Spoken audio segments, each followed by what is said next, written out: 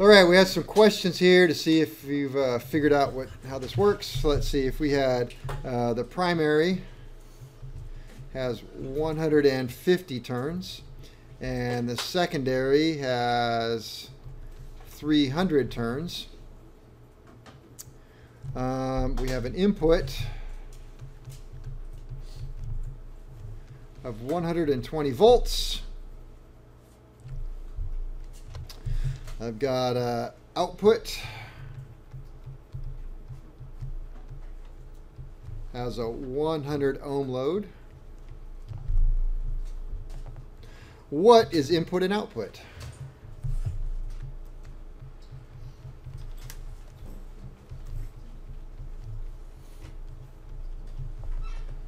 What is my input and output?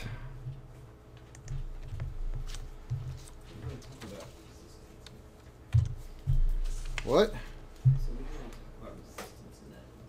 Well, because it's got to be a circuit. What's the one twenty, is that, um, Hundred twenty volts on the primary. So it's got to look like this. No, that's hundred and fifty turns. uh, 150 turns. We'll put this here. We'll go. How many laminations are That'd be 200 turns. in? Uh, Yeah. three hundred. 300. 300 turns, and this is 10 ohms. Um, I thought it was Ten? hundred. Or hundred. 100. See if you're paying attention. Finally, you are. With no input amperage? What? Basically, The question was. We could do something like this.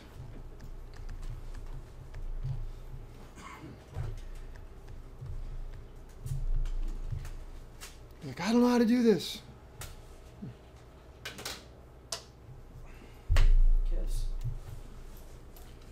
And there's the formula right there. So, turns in the primary is how much? one hundred fifty? And turns in the secondary is Three hundred. Equals voltage of the primary, which is Hundred twenty volts. Which now we can find x. What's my voltage of the secondary? two hundred and forty. So x equals 240 volts. All right, so we can put 240 volts right there.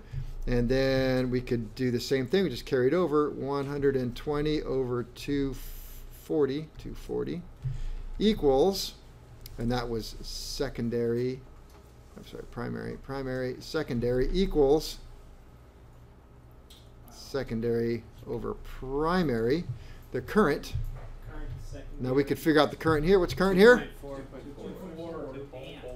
two four amps. 2.4 amps. So 2.4 amps in the secondary, 2.4 amps. So how many amps to be in the primary? 1.2. So we could do 1.2 amps, and we could figure out our resistance, which I didn't ask you. So primary is 120, secondary 240, primary 4. Wait, no, no, no. Wait a minute, wait a minute. Back up. wouldn't the amperage be bigger on the primary? Back up. We had.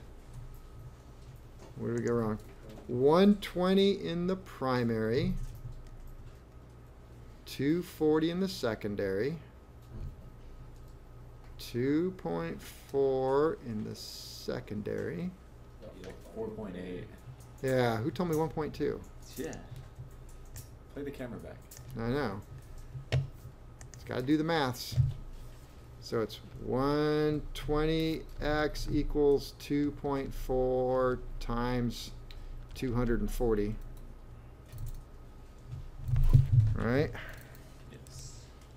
So let's see. 2.4 times 240 equals 576. 120x. Divide both sides by 120.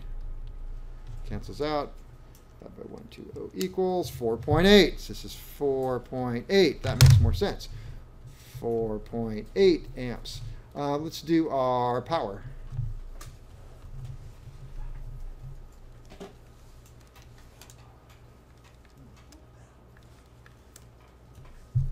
How many watts? 570? Five hundred seventy-six. 576 watts. So how many? How much power over here? What'd you get? Five seventy-six. 576, because it should be. Cannot create power. And for the resistance on the primary, Resistance on the primary. is that just, just like the inductive reactance? Yeah, I guess we the- call it induct. It's not really. of the coil. Yeah. But we could ohms. figure. Twenty-five ohms. So yeah, it'd be like inductive reactance. Or not inductive reactance. Well, it kind of would be. Yeah, 'cause um, it's a- I would call it impedance. Impudent? Impedance. All right. Is everybody cool with diodes? And... The diode. Oh shoot! I meant to talk about diodes. Is everybody cool with transformers? Yeah. All right. Downs are pretty straightforward. And as Forrest Gump would say, that's all I got to say about that.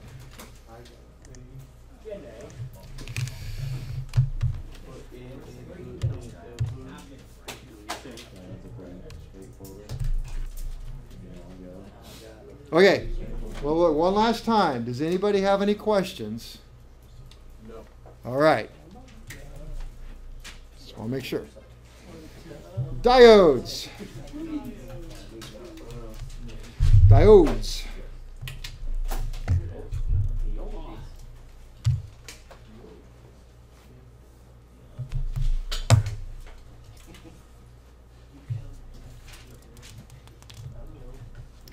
All right, so we've talked a little bit about diodes so far. You've worked with diodes, and you know that diodes kind of will work like a check valve, allow current to flow one way, but not to flow the other way. Um, so we're going to look at how they work. I have some funny videos, um, at least it'll make me laugh. So uh, we'll talk about some terms, terms and conditions. Um, one thing would be a rectifier. Rectifier. That's what I say usually, but I've tried not to this time. But thank you for saying it. It's not a rectum fire. That's a different thing. So what is a rectifier? Well, you should know because we've already looked at it. What, what has a rectifier in it? Alternator. Alternators have one. So a device, device that allows current to flow in one direction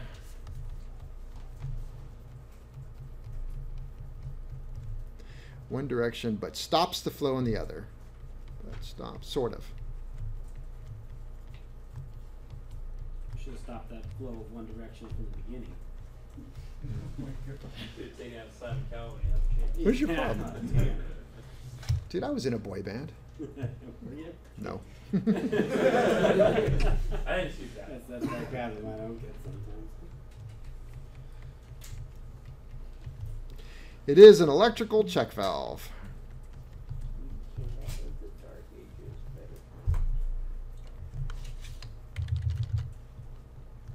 Check Volvo. Check valve. They are solid state.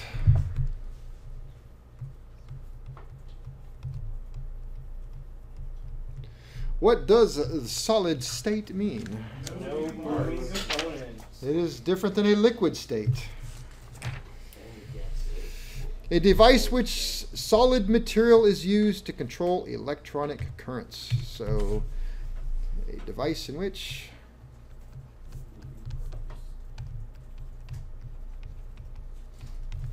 in which solid material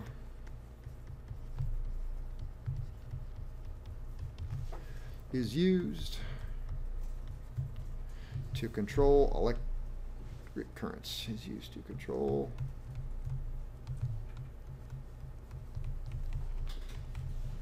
currents.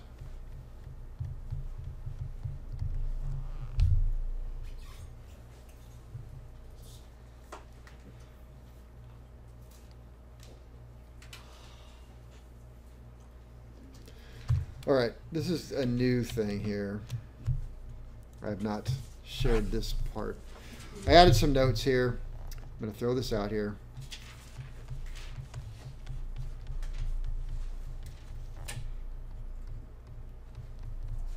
Semiconductor theory. In the past, I have not worried about this because I see that books don't agree. Anode versus cathode. Try that one more time. Anode V cathode.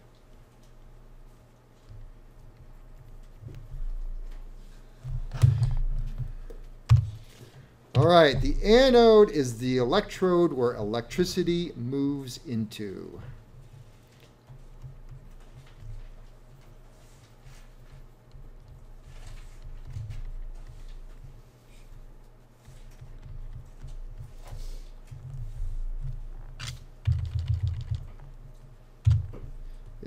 Electrode that um, or where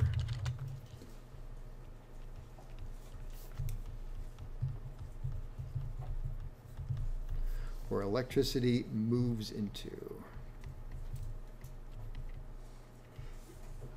And you're going to love this next one. Let me see. Usually, positive side.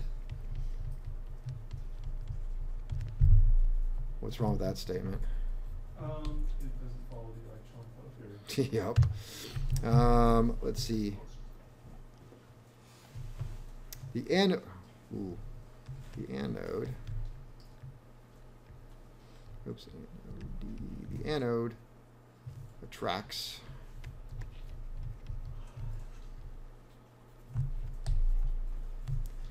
Attracts negative charge.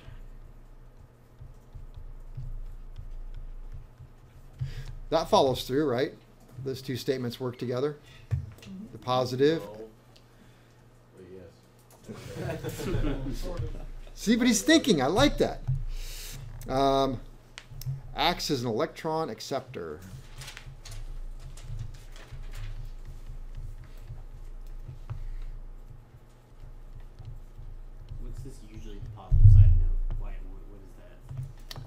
I just found a book that I really liked, and I took it right out of that, and I said, you know what? I'm just going to throw this in there. The anode is usually the positive side. it's Yeah. considered?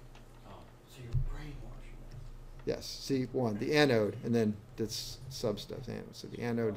So I'm guessing electron flow theory is where books kind of get like conflicting. It must be. In years past, I've really shied away from this subject of anode cathode. One, because I just, you know, I don't work it. But then I thought, yeah, let's kind of throw it in there and just see how this works out. So the cathode, Were your test subjects? yes. Oops. I don't believe in us that much. Well, actually, I figured nobody's listening anyway. So if it oh. goes terribly wrong, then I'll fix it next year when I can see, you know. What? Wait, we were writing. The cathode is the electrode So this isn't for ATC? mhm, where electricity. I've been here for an entire semester and you still haven't told me how to fly an airplane. I don't get this class. Or- How to guide them either. What's a class A airspace? What's a class Delta? We're writing how to make pasta sauce. What? Where electricity is given out or flows out of.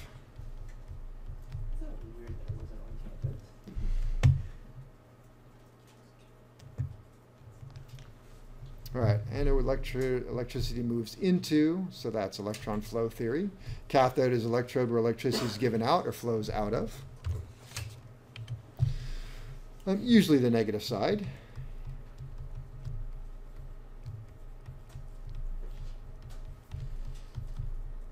I don't know why it would say usually. I don't know what the exception is. Um, is that like a polarity? I just told you I don't know. Don't ask me. Oh. Unless you were offering a suggestion. Like battery flipping over polarity. Yes. Being that is one of the things where anode and cathode I've noticed you really get into these trying to figure it out. Don't do it with the battery because it does. Uh, cathode attracts. Oh, I like this. I'm like, what?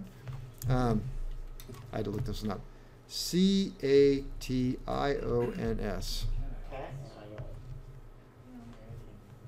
a positively charged ion.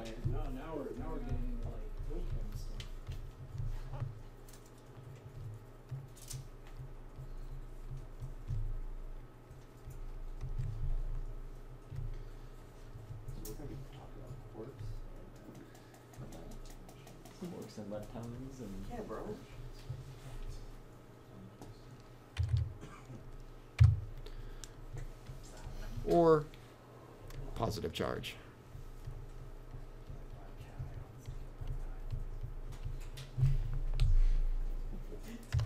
It is the source of electrons. Is the source.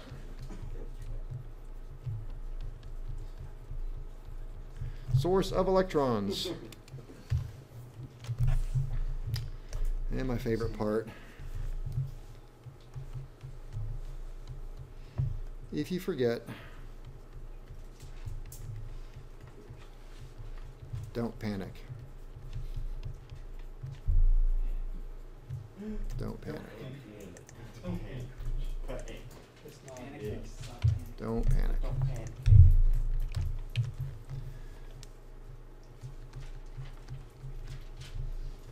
Positive anode.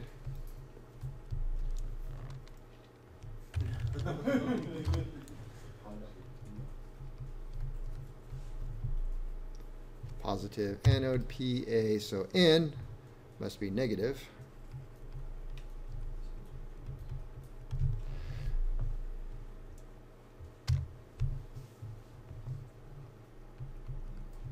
Negative is cathode. what is going on? Don't panic. PNIC, positive anode, negative is cathode. Pretty good. I did not come up with that. There's so many of those acronym words in aviation, it's like impossible. Okay, so before we move on from this, what we're going to do is we're going to look at how the the atomic structure is of these items we're going to look at, silicon and germanium. Um, so what we end up, well, I can just let you watch the, the video because it's actually pretty good, but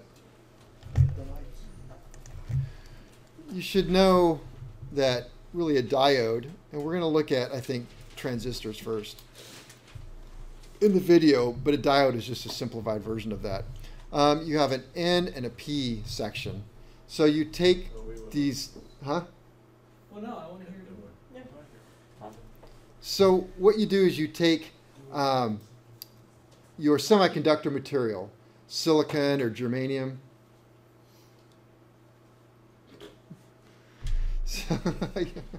silicon or germanium. And the atomic structure is, if you remember going back to electricity, that that is really distracting. He's on his phone. What are you doing anyway? Voice memos. Oh, jeez. Okay, it's even worse. All right, so. He, doesn't, he, doesn't, he doesn't fall asleep to white noise. He just falls asleep to To- Utah. Oh, no, right. My wife does too. So, um, all right, where was I? So anyway, so uh, we talked about the atomic structure of stuff. We said, okay, if it has more than half its Valence electron. valence electrons, then it is a. You're like, I didn't think you'd ever ask me that again. Well, let's go the other way. If it has less than half, then it has free electrons. It wants to give up easily. It becomes Conductor. a conductor. So if it has more than half, then it's insulator. All right, and I'll write this down a little bit, but we're going to look at silicon and germanium, which is funny because silicon has 14 atoms or electrons, 14 electrons, um, which is 2, 8, and 4. And if you remember, the 2n squared to figure out how many you can have in there, n is the what shell it is. Um, so that's 2, the first shell. So how many? What's the most you could have? One. Two. n is 1. So 1 times 1 is 1. 2 times 1 is Two. 2. So it'd be 2 times 2 squared, which means you can have 8. And this is the third shell. So 2, 3 squared, you can have as much as 3 squared is 3 times 3, which is 9, times 2 is 18. 18. So if it's 2, 8, and 4, we have 4 electrons in the valence ring. It should be a Conductor. conductor, but it's not. And uh, germanium um, has 32, which goes 2, 8, 18, and 4. So it's even worse.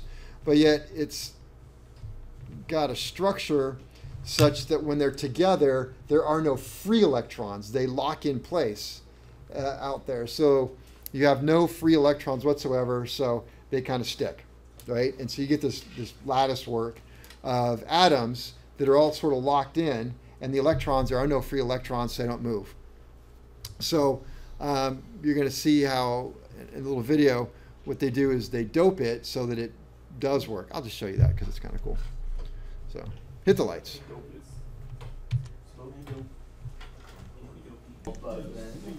Why did they say it has no moving parts? Oh, shit, your millions of electrons flying. Which one?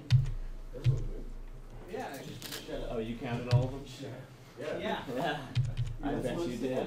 You counted. Did you see the wrong. gorilla bouncing the ball? All right. So back to our diode theory. Recording? Yes. And what what was just discussed. Hopefully it made sense to you. So in a diode we have diode only has the two sections. You have the N type and the P type. So the N type the N type needs what to turn on? Uh, the needs the A positive. Needs needs negative Oh, I see and the P type needs positive. needs positive to turn on. So if we look down here in the, the first, the top drawing right here, I'll enlarge it for you, which is just that. So what happens is it is on. We have the negative side of the battery connected to the N type. N type. So opposites, Attract.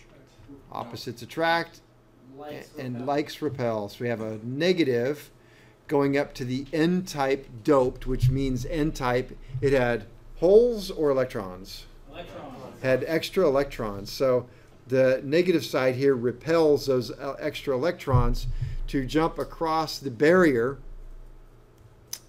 as where the positive side is attracting the electrons. And so we're pushing the electrons across the barrier. They're filling the holes. It, it has the arrow this way because the holes are going to move from the left to the right. But the electrons are, are really moving and they're going to fill the holes up. Think about it from jumping from hole to hole to hole.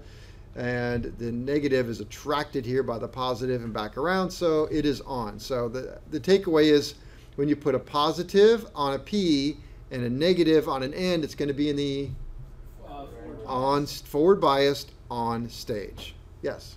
It mentioned it was like a difference of 0.67 volts. Is that a constant thing, or is that just I think so, yeah.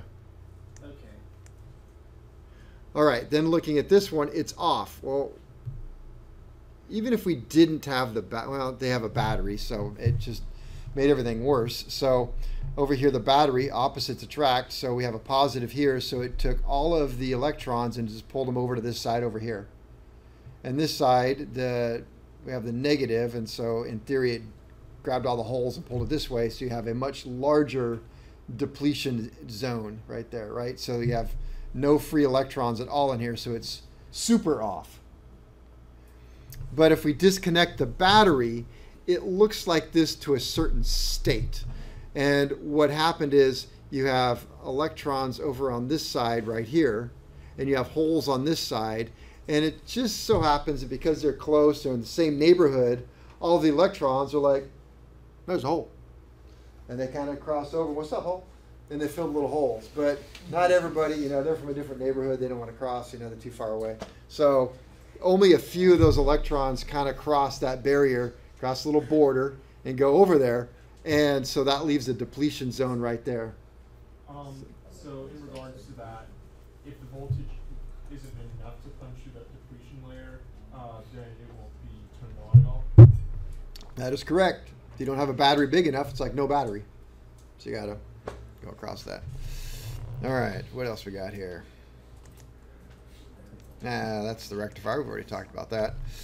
Let's see. We'll go back to this. Come over to here. Let's see. Cathode. Let me see. Um, B, well, we watched the video because that's my notes say. Nobody reminded me. If I don't write video, they'll be like, why am I off on my notes everywhere? Uh, let's see, we had silicon and germanium, our principal semiconductor materials.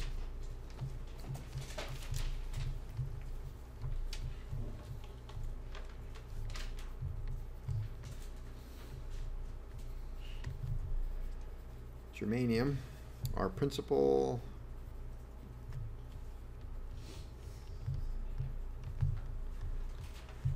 semiconductor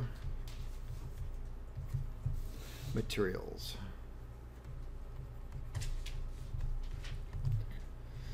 And I have to make my same old joke that germanium, I think, is Michael Jackson's brother, but that's just, you're too young for that. Because Michael Jackson, he was a singer. He died a while ago. He had a brother named Randy. Jer- Jermaine. All right. Um,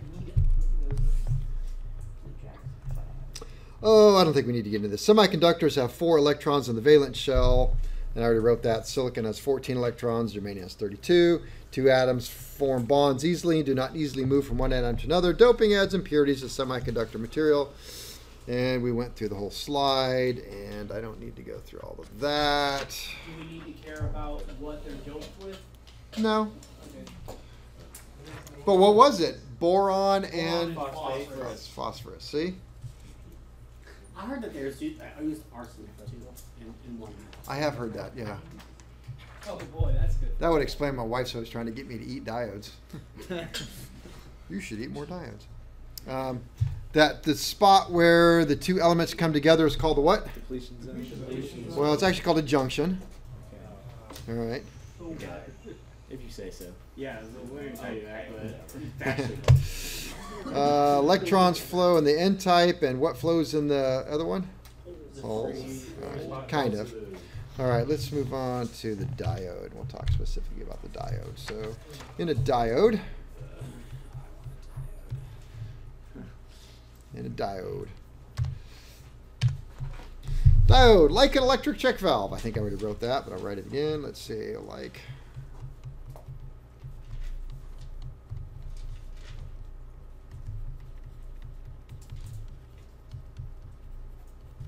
There are different types.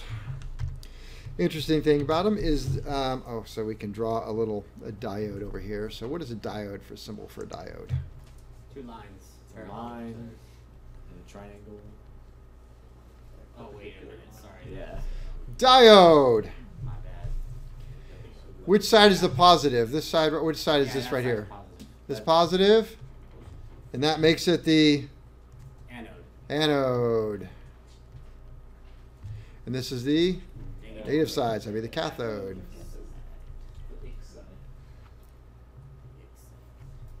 Before we got married, my wife was a cathode. She's Protestant now, so she, she switched over. I think that's how that works. So this little arrow right here points in the direction of Electron flow. Uh, not electron flow, Conventional. conventional flow. Yeah. So a lot of this stuff, if you think about it in conventional flow, starts to make more sense. So the arrow is pointing towards conventional flow, or this right here is the negative symbol, if you want to think about that. And so that's the negative side with the big negative, and that's that right there. So um, sometimes you can get, let me see, um, if they're, I don't think I have a picture of one. But if you actually had one this way, the little stripe indicates the negative, negative side. Uh, all right. Negative side, yeah. Um, then, like an electrical check, VAL. Check electrical check valve. Um, let's see. In a diode, current will only flow in direction. So current will only flow in direction.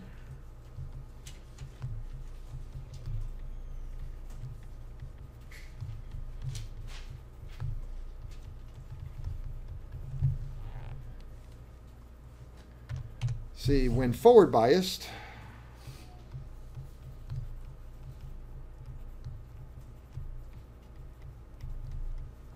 It is on or off? On. On. And reverse bias is.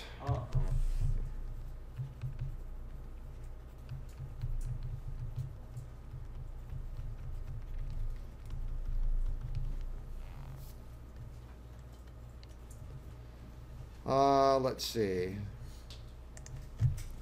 So we do this.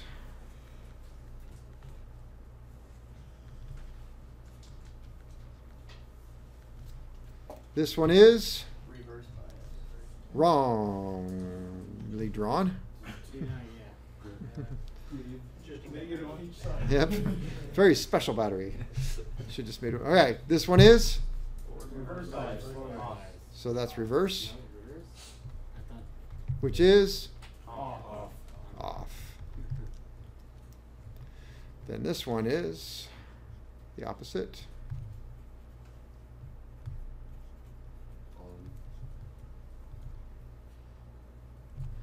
Forward bias.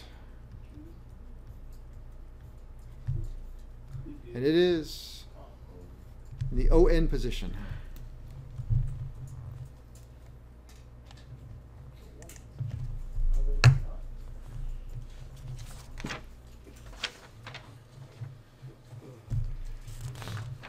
All right, you should know this one. Let's see. Diodes have very low resistance.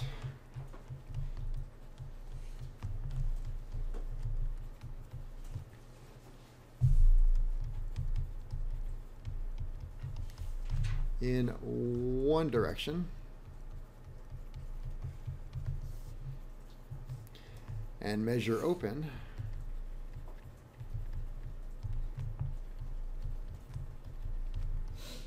in the other direction.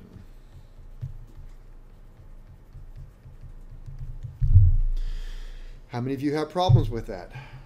With your Simpson meter, you would measure it one way and like, okay, that's low resistance. Well, now it doesn't work. So you turn it up to a different thing. And like, well, now it works in both directions and does something weird. And I get this resistance on that. And it's all messed up. Sounds like you wrote that No, down it try again. do it. What's that? Sounds like you wrote that in the instructions to do it. Yeah, but you'd be surprised how many people don't read that. I watched the guy next to me, and it's not what he did. Um, however, what is the resistance?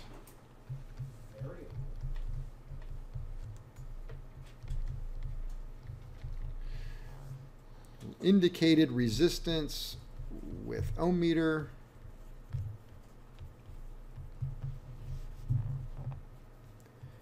is dependent.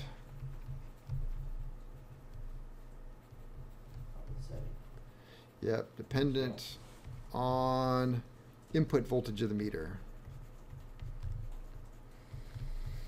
So when you check one, my my uh, DMM has a uh, diode check. Does have a diode checker. Yeah, and, and I mean I don't really. I, I looked up how to use it, and they were like, just put it on the diode, and it just tells you if it's good. And it's like, well, it doesn't really tell That's me. right. So a digital VOM volt ohm meter Wrong.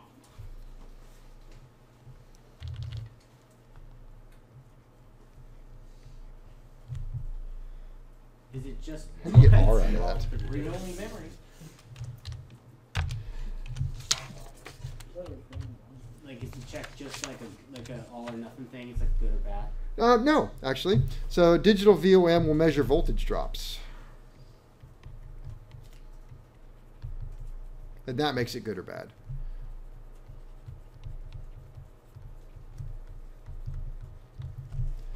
We'll measure voltage drop. So silicon.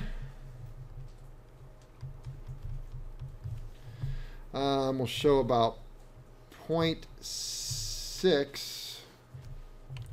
Freaking hate you. 0.6 volts in forward bias.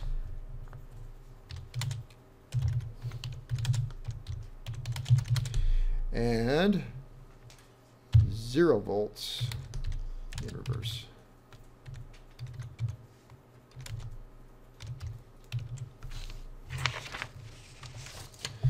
Germanium.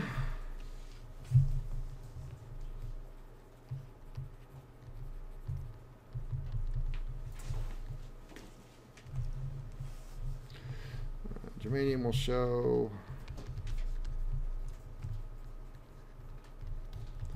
show about zero point three.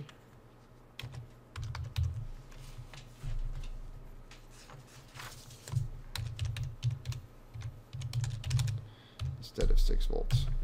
I'm trying to remember, your, didn't yours, they had about a two point five voltage drop, right? Mine? Uh, when you going back to one of the first projects we did, what was the voltage drop of most of the diodes?